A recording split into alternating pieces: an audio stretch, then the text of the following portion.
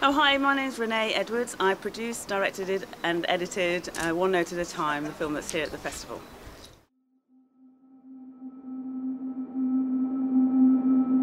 Every Sunday when I go to church, I want to go there when we finish. And I don't have anywhere to go when we finish because everybody's gone.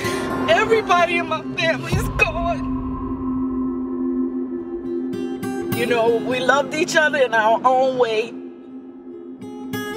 But I didn't realize until after what I really had. He said, ain't you heard? The hurricanes changed course. They're coming right up the river. 1,800 people died. That was documented. You could hear a pin drop in the daytime. No birds, no nothing. This is New Orleans. Ain't nothing like New Orleans and we love music. It was a blessing to come home and watch people come to the little bars at night, hear us playing. I felt the responsibility to come back and take care of it.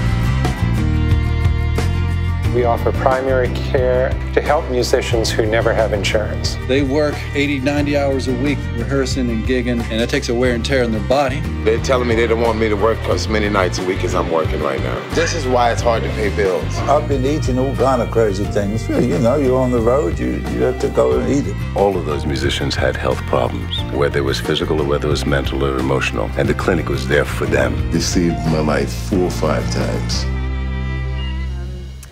originally I wanted to, after Hurricane Katrina happened in New Orleans, I was um, really worried and concerned about the jazz funeral tradition.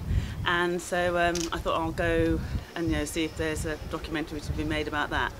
And um, whilst I was there I sort of talked to quite a lot of people and discovered that obviously you know the whole music scene was in uh, disarray and um, there's a lot of other complex issues around the culture of New Orleans. So um, the story sort of changed into a wider um, story about what was going on, what was happening with the musicians. Because once we discovered the New Orleans Musicians Clinic and we wanted to tell the story through the clinic because it seemed like a really good metaphor for um, the health of the music industry and the health of the literally the musicians themselves. Yeah. And, and I think a lot of the musicians they wanted to work on to be part of the film because they thought it would help the clinic and um, I think they could see how you know dedicated we were. And uh, so yeah, it was amazing. And one person would introduce us to the next person, to the next person, to the next person, and it was just fantastic. And they were uh, and they were you know wonderful, adorable, so open and giving, and uh, yeah, I completely fell in love with them. I hope that people take the importance of um, healthcare, people having access to healthcare in, in all over the world, um, and also to nurture, nourish people who are in the arts, um, and obviously, um, you know, things are changing in America at the moment, so healthcare is, you know, in a really difficult situation. So hopefully, you know, some of the powers that be might take something away from the film as well. Um, it might influence things in that way. Um, I think also the importance of and how uh, much um, people actually working together to make something better mm -hmm. can actually work.